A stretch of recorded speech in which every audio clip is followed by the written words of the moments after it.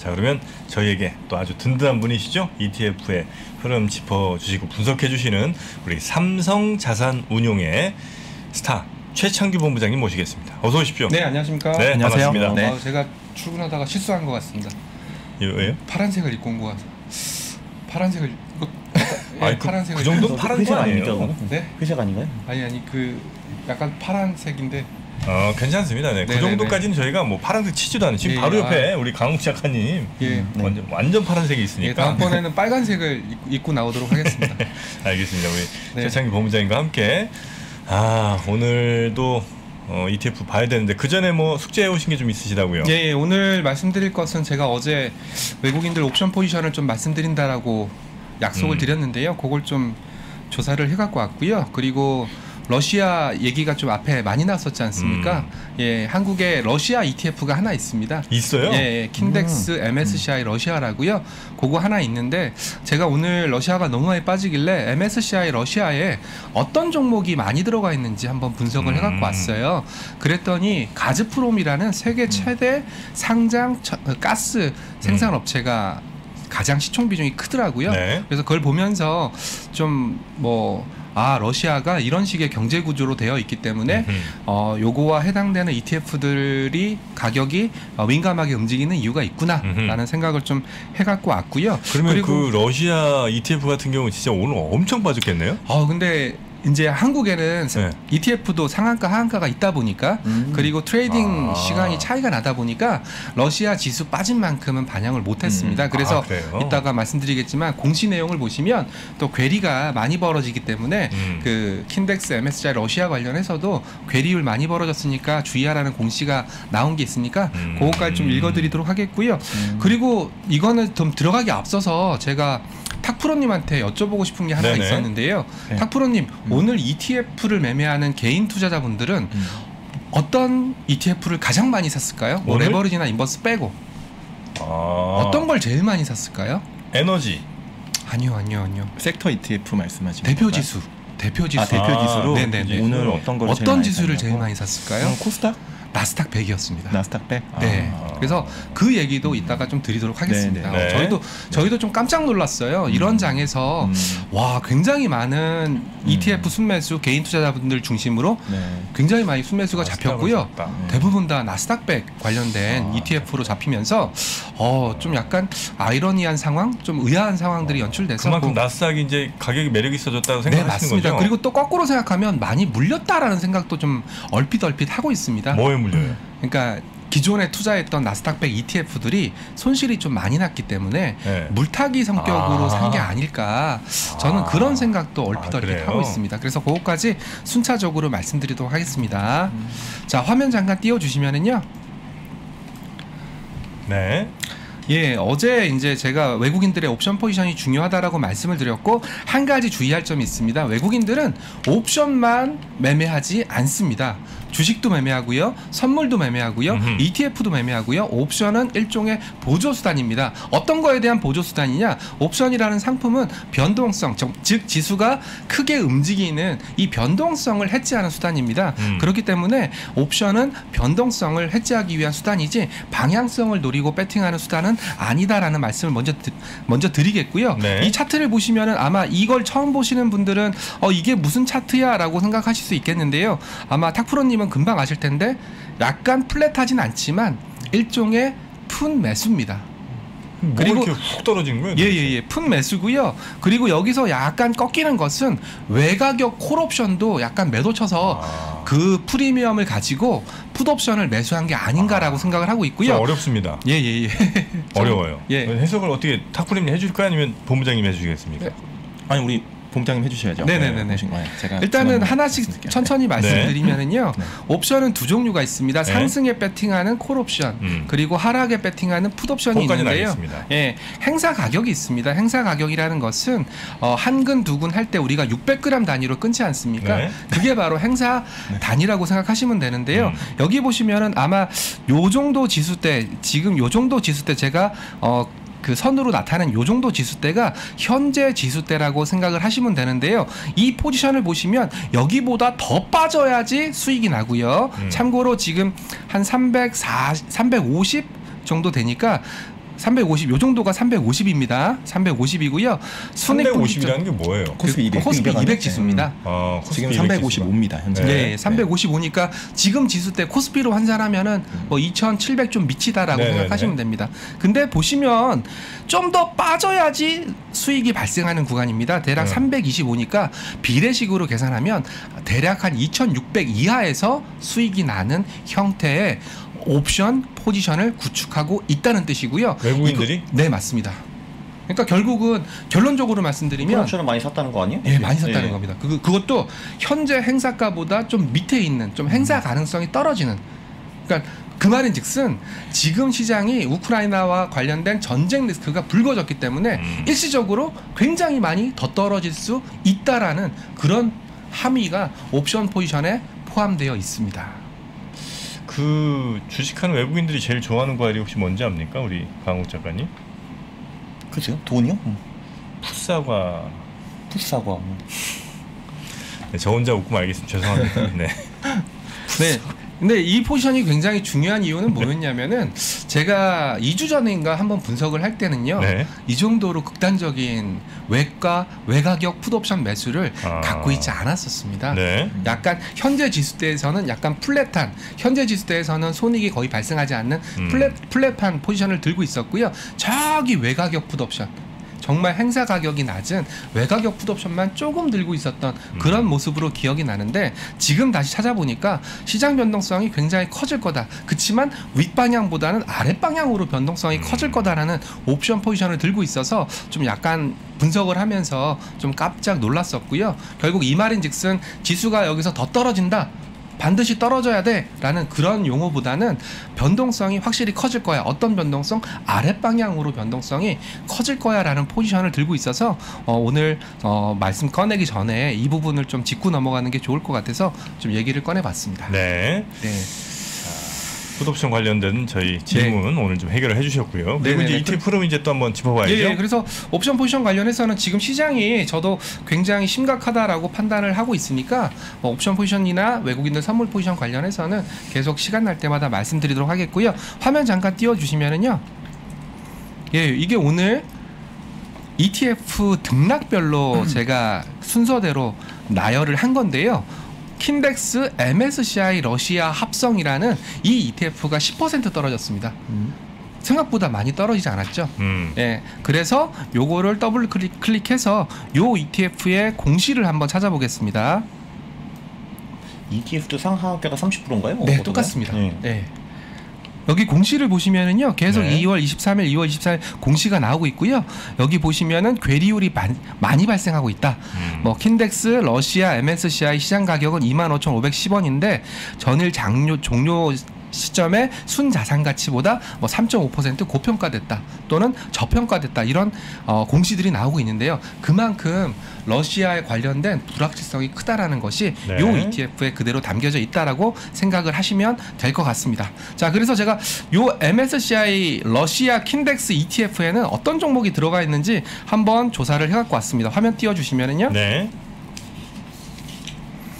자 여기 혹시 가운데 보이시나요? 참고로 이 ETF는 음. 합성 ETF이기 때문에 갖고 있는 종목이 뭔지는 보여주지 않습니다. 아. 일종의 수합으로만 포지션이 잡혀져 있는데요. MSCI 러시아 지수를 추종하기 때문에 음. 여기 나와 있는 지수 구성비는 MSCI 러시아 25%캡 인덱스의 지수 구성 종목 26종목이 어, 들어가 있는 겁니다. 그래서 하나씩 제가 설명을 드리면은요. 네. 예, 가즈프롬 혹시 가즈프롬 아시나요? 알죠, 알죠. 옛날에 보유도 해봤어요. 아, 어, 보유도 주주로서. 해봤어요? 네. 음. 왜냐하면 저 러시아 기업들이 밸류에이션 진짜 싸요. 어. 아. 네. 아무래도 이제 그 기업 음, 음, 기업 거버넌스 이런 쪽이 이제 훨씬 네. 더 음. 약하거든요. 네네 네. 딴 데보다. 네. 네. 참고로 가즈프롬은 세계에서 가장 큰 상장 천연가스 회사입니다. 네네네. 네, 그래서 예전에 이 종목이 MSCI에 들어올 때 음. 한국물 비중이 좀 빠졌을 빠질 정도로 음. 굉장히 규모가 큰 기업이고요. 밑에 있는 루크 오일, 예, 루크 오일 이것도 이름에 오일이 들어가 네, 있으니까 네, 뭐. 뭐 당연히 에너지 관련된 네. 기업이다라고 생각할 수 있는데요. 이 회사는 매출액 기준으로 러시아에서 가장 큰 최대 민영 에너지 회사입니다. 음. 그리고 밑에 있는 뭐 스- 스베르 뱅크라고 되어 있으니까 이건 국영 러시아 은행이고요. 스베르 뱅크. 예 예 예 예, 그리고 요 회사 이름을 좀 눈여겨 보실 필요가 미키. 있는데요. 예.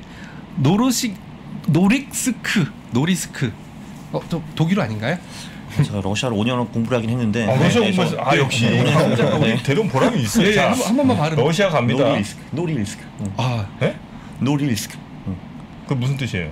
예, 그러니까 아, 지역 이름입니다. 뜻은 없어요. 아, 뜻은 네. 지역 아. 이름입니다. 지역 이름. 네. 노릴스크라는 지역에 있는 최대 니켈입니다. 그래서 음. 여기서 얻을 수 있는 시사점은 뭐냐면 러시아 관련돼서 가장 민감하게 반응할 수 있는 섹터를 다 말씀드린 겁니다. 음. 첫째 가스. 그러면 가스와 연동되는 ETF가 탄소 배출권. 그래서 오늘 탄소 배출권 ETF 가격은 굉장히 많이 올랐습니다. 아 그래요. 예. 그리고 오일.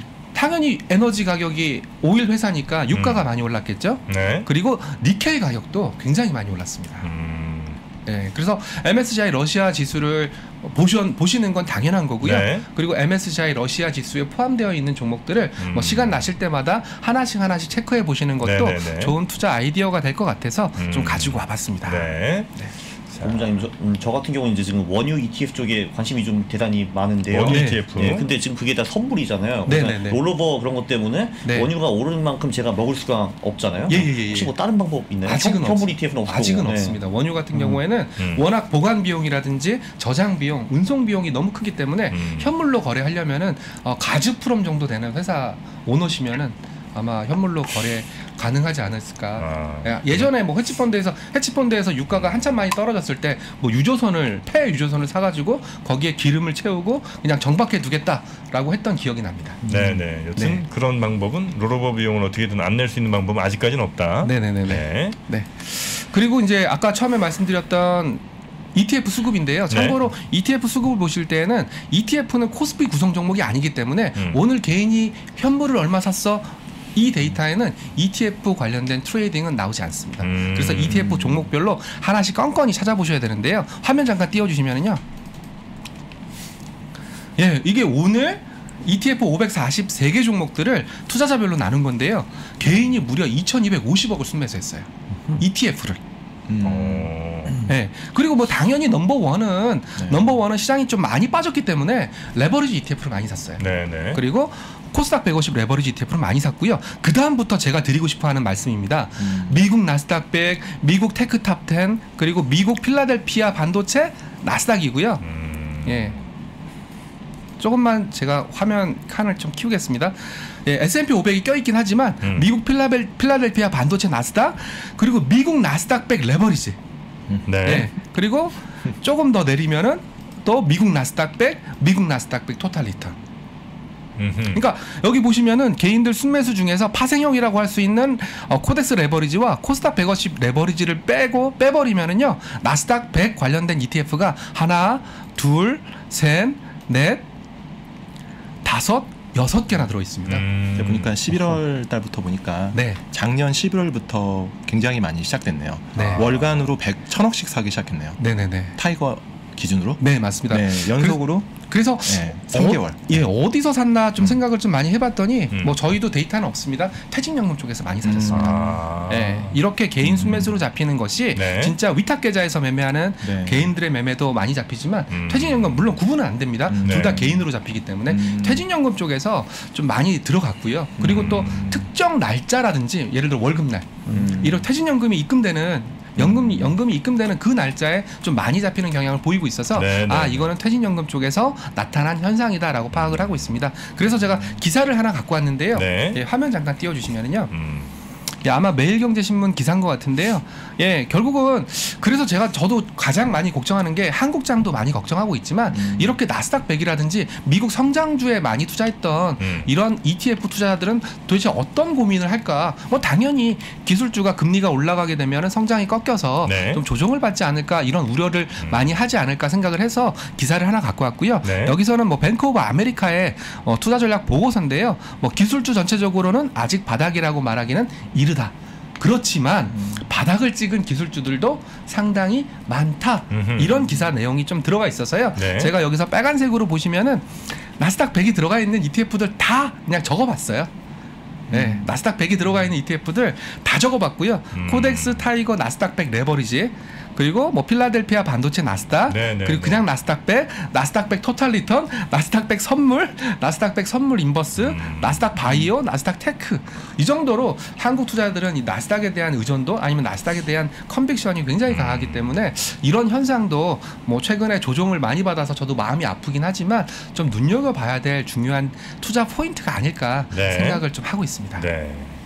보통 TDF 펀드일 것 같아요, 그죠? 네, TDF도 네, 많이 들어갔을 것 TDF. 펀드 보니까 최근에 조금 젊은 분들 MZ 중심으로 음. 굉장히 많이 좀 들어온 것 같아요. 네. 근데 이제 TDF 펀드라고 한다면 target date라 네. 해서 특정한 어떤 그 날짜가 되면 네. 그걸 바꿔주는 겁니다. 밸런스, asset class를. 아. 젊을 땐 주식 좀더 계속. 많고 그렇죠. 그좀 나이 들면 음. 채권 많이 줄이고. 거잖아요, 그죠? 네. 네, 네, 그 네. 숫자에 따라서 공격성도 바뀌는 거고 TDF 아. 펀드 뒤에 숫자가 네. 있거든요. 예를 들면 30대까지만 해도 뭐 주식 비중이 높겠죠. 위험한 그렇죠. 자산에 네. 많이 좀 들어가 네. 있고 한 60대 되면 안전자산 쪽으로 많이 비중이 옮겨가는 네네네네. 네, 그런 걸 이제 TDF라고 하는군요. 네, 네. 네. 그래서 주식과 채권의 비중을 glide path라고 해서 나이에 맞게끔 음. 조금씩 조금씩 조금씩 조금씩 조정을 해주는 그런 수익 수익률 곡선을 따라가거든요. 네. 그래서 거기에 해당되는 주식에 해당되는 포지션 중에 상당 부분은 제가 알기로도 나스닥 100이나 S&P 500이었던 걸로 파악을 하고 음. 있습니다. 네, 그렇네요. 되게 네네네. 비중이 큰 것 같아요. 그래서 네, 저도 뭐 이렇게 제가 나스닥 100 관련해서 뭐 저가 제가 뭐 여기서 view를 뭐 성장주 미국 성장주 기술주가 뭐 계속 갈 거다 또는 음. 가지 않을 거다라는 view를 말씀드리는 건 아니지만 이렇게 많이 어 개인 개인 투자자들이 ETF 쪽에 좀 쏠려 있다. 라는 얘기를 좀 드리기 위해서 한 네, 거고요. 네, 네. 오늘도 한 가지 좀 신기했던 게 음. 어우 나스닥 레버리지에 100억씩 순매수가 잡혔어요. 음. 나스닥 레버리지. 레버리지 나스닥 100도 두 배짜리까지 네, 있습니다. 네, 네, 네. 네. 어떻게 보세요, 강 작가님? 네. 아니 내리면 팔아야지 왜 사나요? 네. 네. 네. 이해가 잘 안 되지만. 네, 그게 네, 저는 좀 이해가 돼요. 네. 저는 제가 뭐 사실은 추천을 드리고 싶진 않지만 네. 그 지난 2년 동안 나스닥 한 3년 된 것 같아요. 나스닥이 오르는 모습을 많이 봤잖아요. 네, 그렇죠. 어, 최근에 특히 주, 어, 주식하신 한 2, 3년 안 되신 분들은 어, 나스닥이 오르는 것만 봤단 말이죠. 맞아요, 사이클이 맞아요, 맞아요. 빠지면 그냥 바이더티하면 먹는 거죠. 음. 근데 이제 저는 제가 십수년 동안 이 업계에 있는 동안 나스닥이 한 3, 40% 빠진 것도 많이 봤거든요. 고점 대비. 음. 그러니까 이제 약간 이제 바- 저감해서 하는 건 좋은데 어, 조금 더 신중하게 했으면 좋겠다라는 말씀을 네. 계속 드립니다. 네. 그래서 제가 이제 이 자리에서 한번 화두를 꺼내고 싶었던 게 제, 저희가 이제 자산운용사에서 몸담고 있고 저희 코덱스 나스닥 레버리지 상품이 있다 보니까 혹시 정프로님 TQQQ 들어보셨죠? TQQQ. 예, 세 배짜리. 네. 음. 네, 그거 관련해서 기자들 질문이 굉장히 많이 옵니다. 네. 너는 어떻게 생각하냐? TQQQ를 사는 거에 대해서 어떻게 생각하냐? 음. 그래서 굉장히 어려운 질문이거든요. 아, 좀 네. 위험하죠. 저는. 어렵지 않은데. 어? 사면 안 됩니다. 아 그런가요? 예, 예, 예. 네. 저도 아, 물론- 최근에 찍었어요. 네. 물론 뭐 총 자산의 5% 미만으로. 아, 아, 5% 미만으로. 왜 안 되죠, 사면? 어, 3배 정도의 레버리지를 네. 지금 같은 마켓 이 변동성 구간에 하- 한다는 건 저는 저의 어떤 투자 철학으로는 안 맞고 네. 물론 뭐 굉장히 자기는 어, 50%까지 나는 감내할 수 있어 손실을 음. 아, 난 마이너스 70%도 감내할 수 있어 확신이 있어 음. 라고 하면 괜찮은데 음. 저는 뭐 그런 분들보다는 한 20, 30% 손실을 보면 조금 힘든 분도 꽤 많은 많다고 생각해요 대다수죠. 네. 근데 뭐 나스닥이 하루에 3, 4% 움직이는데 한 두세 번 움직이면 마이너스 10% 되거든요. 그렇죠. TQQ는. 그, 그런 부분은 좀 너무 너무 공격적이라고 보는 거죠. 아. 먼저 물론 투자 성향에 따라 다릅니다. 그럼 뭐 음. 개인적으로 알아서 하시면 되는데 저는 어, 제 지인이 산다고 하면 저는 반대할 겁니다. 네. 네네. 음. 그러니까 TQQQ가 네. 2000년에 만 원으로 들어갔으면은 네. 2009년에 그게 4원이 돼요. 그러니까 그만 원이 4원이 되거든요. 네. 아, 그래요? 그때부터 또 눈물 이렇게 이제 추격을 해가지고 네. 700배가 올라요. 어. 예. 근데 이제 그 재밌는 게 뭐냐면은 사실 미래에는 그래서 이게 마이너스 99.99가 나 올지 700배가 나올지 모르기 때문에 어. 내 자산의 일부 조금만 네. 5% 미만 들어가면은 나쁘지 않습니다. 네. 다 날려도 아. 5%니까요. 네. 네, 근데 네, 네. 벌면은 700배 벌수 있어요. 네.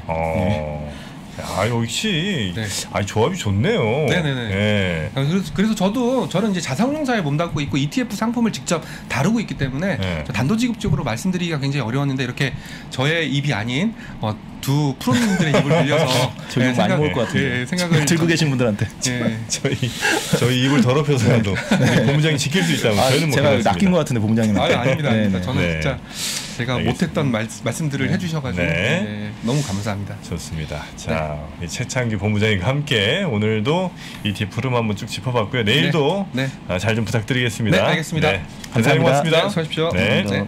안녕하십니까 강원국입니다. 딱 2월 28일까지만 수강생들에게 세 가지 혜택을 제공합니다. 자동 매매 이용권을 같이 드리고요. 네, 그리고 제가 거인의 포트폴리오의 저자 아니니까 그 책도 같이 드립니다. 그러면 그걸 하시다 보면은 아, 이거 굉장히 재밌다. 나도 나만의 전략을 만들고 싶어 하실 수가 있거든요. 그런 분들을 위해서 백테스트 이용권도 같이 선물로 드립니다.